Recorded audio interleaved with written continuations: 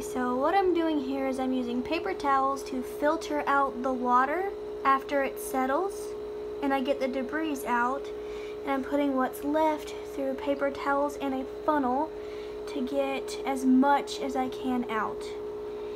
And we're gonna see how this goes. Hopefully it goes really well.